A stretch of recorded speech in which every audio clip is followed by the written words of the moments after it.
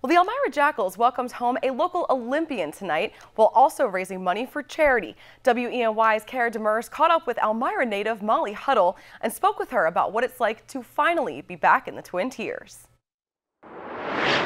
Two-time Olympian Molly Huddle returned to the Twin Tiers this week in honor of her very own night here at First Arena.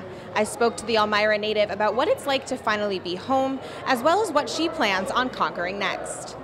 Just a few days after returning home, Olympic runner Molly Huddle celebrated an overwhelmingly successful year alongside the Elmira Jackals, as well as a huge crowd at First Arena.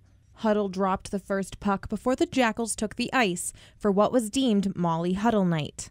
Proceeds from the night's ticket sales went to both the Southern Tier SOAR and NE Distance charities, and Huddle says that even now there's still no shortage of support from her hometown. Just seeing still the t-shirts and the signs and just everyone, you know, saying they watched or they cheered, it means a lot and so I really appreciate it and especially nights like this, I appreciate it a lot. Huddles set an American record and finished sixth overall in the 10,000 meter at this year's Olympic Games.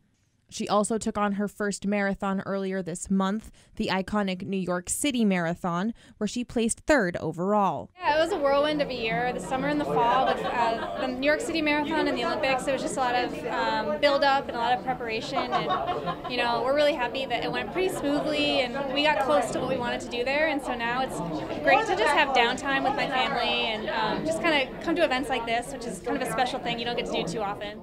As 2016 winds down, Huddle says that she plans to take some time off until March. And although New York may have been her first marathon, she also says she hopes it won't be anywhere near her last.